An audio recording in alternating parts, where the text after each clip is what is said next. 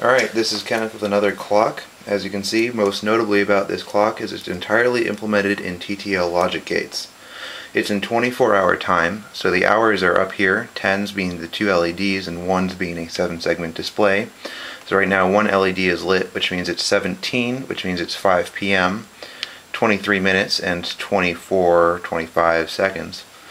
From an operational standpoint, what we have is we have a CMOS 4001 NOR gate with a crystal and two capacitors and some resistors hooked up as a crystal oscillator.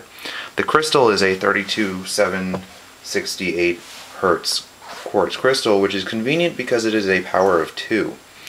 I use three 74 161s, which are divide by 16 counters, and half of a 7493 is a divide by 8 counter, which divides the 32,000 Hz signal down to 1 Hz. At this point we have a 1 hertz pulse which feeds over to this first 74 160 divided by 10 counter.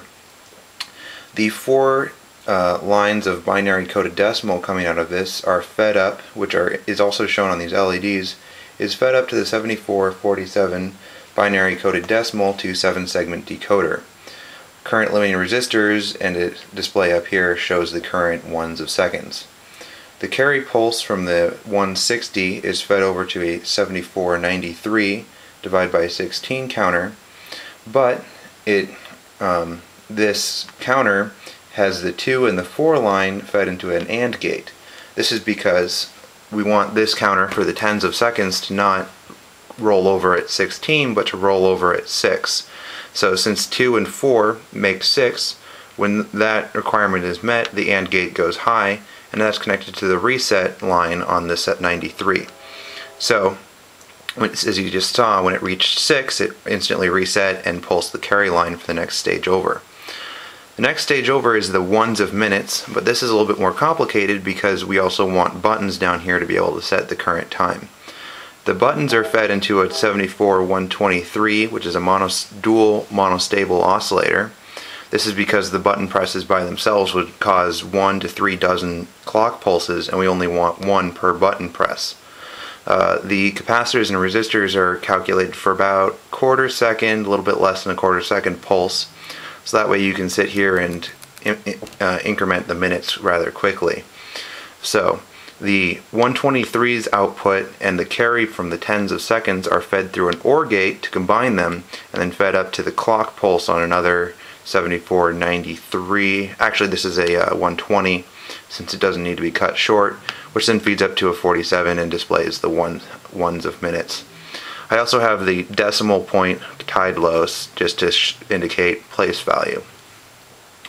Alright, so the carry line from the 70, 74 160 gets fed over to another 93 over here in the clock, which is again cut short with an AND gate to only do 6.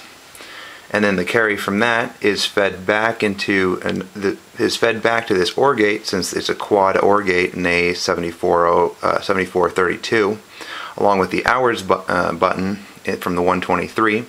So they're combined here and then fed over into the clock pulse on the hours. But the hours consist of two 7493s. The first one's cut short at 10 by the AND gate, and then them combined together is cut short at 24. Um, that way, every this, this uh, the first digit can count up to 9 and then roll over at 10 and increment the hours. And then once all of it together reaches 24, it gets cut short again so that you have a 24 hour cycle per the days. The output of the tens place for the 7493 is fed through an inverter. It just a 7404 um, since we want these two LEDs to be active low.